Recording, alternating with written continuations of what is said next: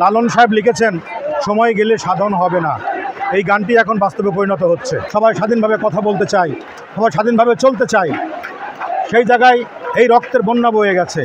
কোনো বাবা, কোনো মা তার সন্তান হারানোর বেদনা ঘরে বসে আর নিজে নিজে সহ্য করতে পারে না। তাই আজকে দেখেন লক্ষ লক্ষ মানুষ রাস্তায় নেমে গেছে। এই সন্তান হানার বেদনা এবং এই সন্তানদের যে আত্মার সন্তান হারানোর যে কষ্ট সেই কষ্ট নিবারণ করার জন্যই আজকে আমরা সবাই মিলে এই রাস্তায় নেমে গেছি। আমি এই আন্দোলনের, যৌক্তিক আন্দোলনের সংহতি প্রকাশ করছি। আমরা টেলিভিশনে দেখছি যেটা আন্দোলনকারীরা বন্ধ করেছে, তারা বলছে। কিন্তু এটা তো আমরা জানি, মিথ্যা না সত্য। এটা হলো কিছু কৌশলগত কারণ তো থাকবেই। তো সেখানে জনগণ যখন ফুসে ওঠে, জনগণের দাবি যখন একাত্মতা ঘোষণা করে, যখন সারা পৃথিবী, দুনিয়ার মানুষ যখন সারা বাংলাদেশের মানুষ একসাথে এক আওয়াজ তোলে, তখন কোনো কিছুতে ইন্টারনেট বন্ধ হোক, আর টেলিভিশন বন্ধ হোক, আর মানুষের মুখ বন্ধ করে রাখার কৌশল হোক, কোনো কিছুতে আর বাধা মানে না। আমি, আপনি সবাই পরিষ্কার যে শিক্ষার্থীরা যে যৌক্তিক দাবি নিয়ে নেমেছিল কোটা আন্দোলন, সেটি সঠিক ছিল। তাদের দাবিটা খুব শুরুর দিক থেকে মেনে নিলে আজকের এই সমস্যাটা হতো না। এতগুলো প্রাণ ঝরতো না। অসংখ্য মানুষ মারা গেছে। আজকে দেখছেন যেভাবে মানুষকে মারা হয়েছে, সন্তানদেরকে মারা হয়েছে।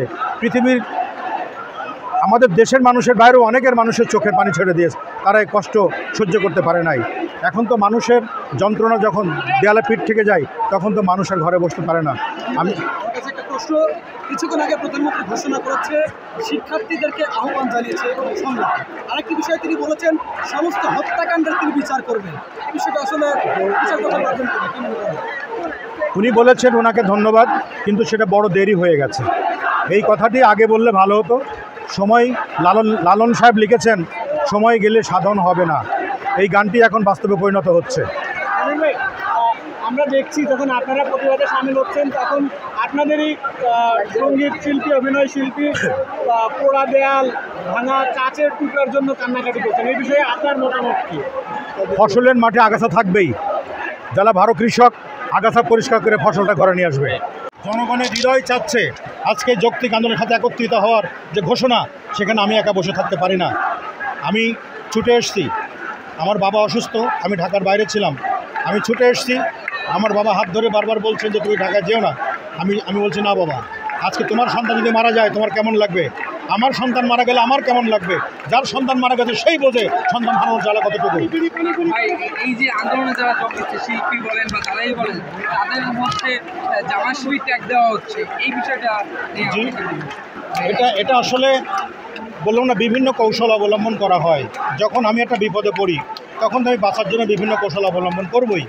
তো সেক্ষেত্রে মানুষের কাছে সাহায্য চেতে হতে পারি, কাউকে দোষারোপ করে হতে পারে, নিজে ভালো সেজে হতে পারি।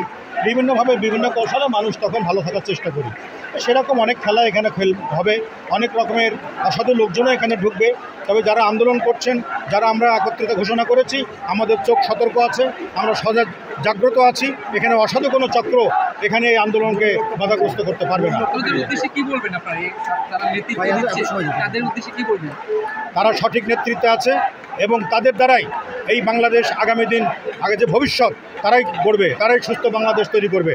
এই সমস্ত মেধাবী ছেলে ছেলেমেয়েরাই আগামী দিনের ভবিষ্যৎ, আগামী দিনের বাংলাদেশের কাণ্ডারি। তাদের পেছনে দেখেন জ্ঞানী গুণী, কবি, সাহিত্যিক, ডাক্তার, সাংবাদিক, সাধারণ মানুষ, সবাই নেমে গেছে, ব্যবসায়ী, কেউ ঘরে নাই, কারণ সবাই তো বোঝে যে কোনটা ভালো, কোনটা মন্দ। দেশ বিদেশের সর্বশেষ সংবাদ। সবার আগে জানতে ক্লিক করুন রাইজিং বিডি ডট কম। প্রতি মুহূর্তের খবর অনলাইনে।